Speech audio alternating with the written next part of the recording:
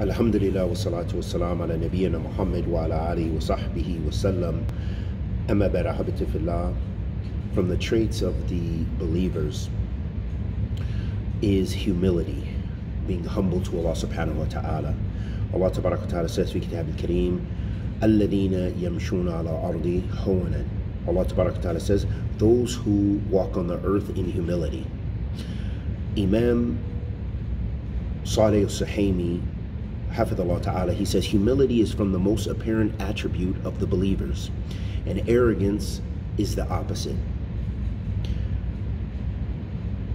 And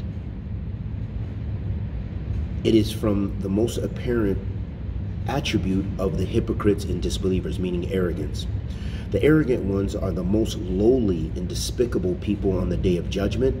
Allah will see it that they are under the feet of the people, and the one who has a grain of pride in him will not enter paradise.